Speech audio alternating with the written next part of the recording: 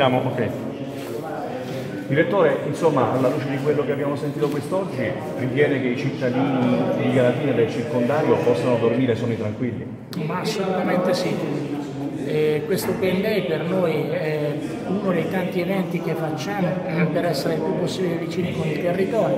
Il nostro, nostro modello di impresa prevede proprio questo, prevede un'impresa competente, un'impresa trasparente, un'impresa inserita nel territorio a tutti gli effetti. Noi facciamo parte del Salento e siamo contentissimi di far parte del Salento. Sappiamo bene che da un sacco di cemento è molto difficile poter percepire tutto quello che noi facciamo, la tecnologia che impieghiamo e soprattutto la professionalità delle persone che si occupano delle nostre attività.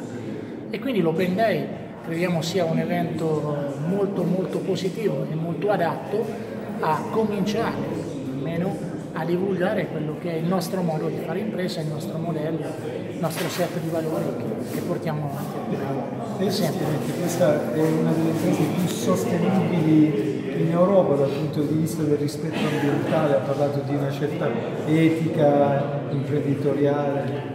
Assolutamente sì, eh, lo stabilimento di Galatina è uno stabilimento che eh, assolutamente può competere con qualsiasi fabbrica europea eh, in termini di qualità delle macchine e, e, lo ripeto ancora una volta in termini di qualità delle persone che poi operano con queste macchine, perché le macchine da sole non sono garanzia di nulla.